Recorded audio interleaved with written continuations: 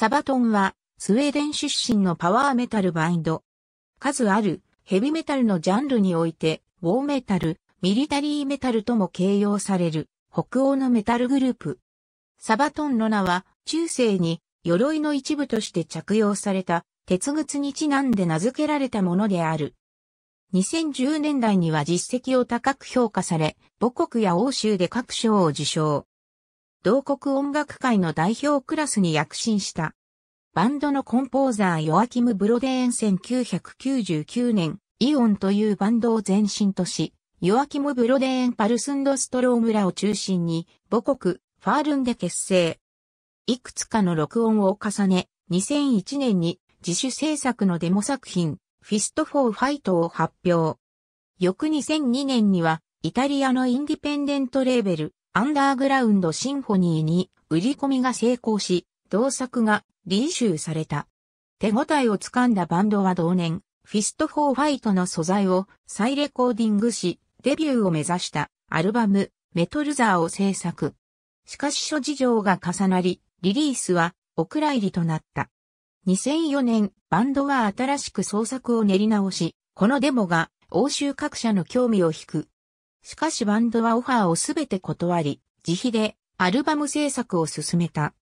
2005年、本国のインディペンデントレーベル、ブラックロッチレコードと契約し、ファーストアルバム、プリモ・ビクトリアを発表。結成から6年目で晴れてデビューを果たす。2006年、セカンドアルバム、アッテロ・ドミナトゥスを発表。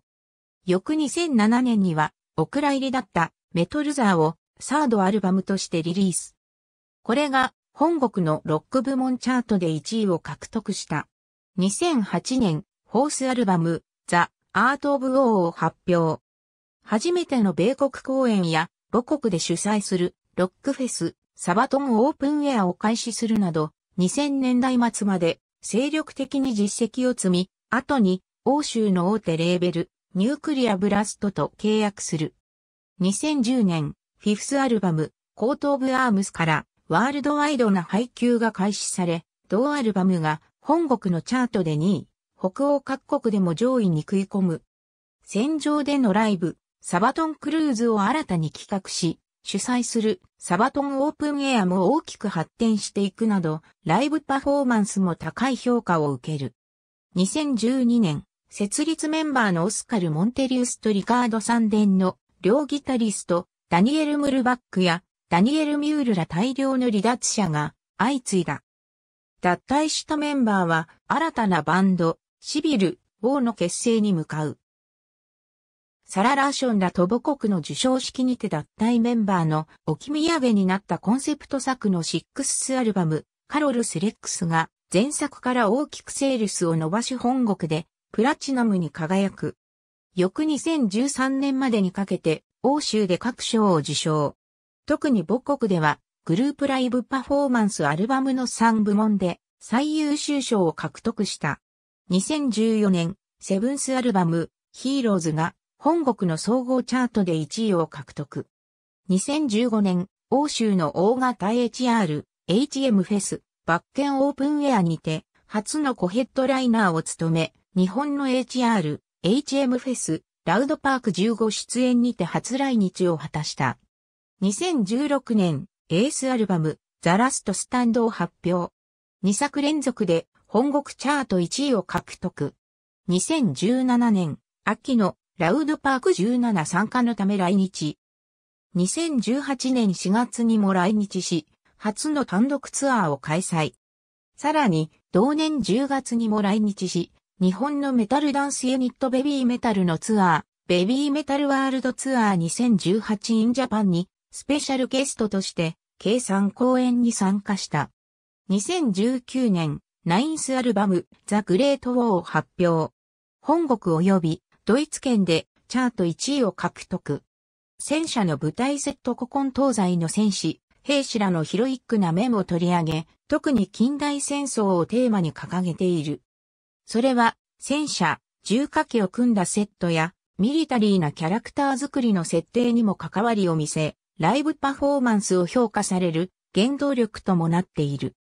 東洋の回線については、フォースアルバム、ザ・アート・オブ・ウォーが中国、孫子の標法からインスパイアされた作品であったり、日本の合戦では、西南戦争、城山の戦いをテーマした楽曲、城山も制作された。音楽性は、ヨアキム・ブロデーンののぶとく男臭いボーカルを活かした、女児的でダイナミックかつ勇壮に溢れるエピック、パワーメタルサウンドを主体とする。これらを踏まえ業界からは、ウォーメタルもしくはミリタリーメタルとも形容された。2020年5月時点オリジナルアルバムライブ、アルバムコンピレーションサバトンオープニアは、バンドが主催する野外のロックフェス。2008年以降の毎年夏時期に、母国スウェーデンのファールンで開催。開始2年目までは、近隣のグループが少数参加した対バン形式に過ぎなかったが、2010年に 2days、2012年から 3D エイスと規模が拡大。ビッグネームの参加も増加し、同国最大級のロックイベントに発展した。10周年を記念した2017年開催では前夜、祭りを含んだ4デーズと過去最大となり、以来定着している。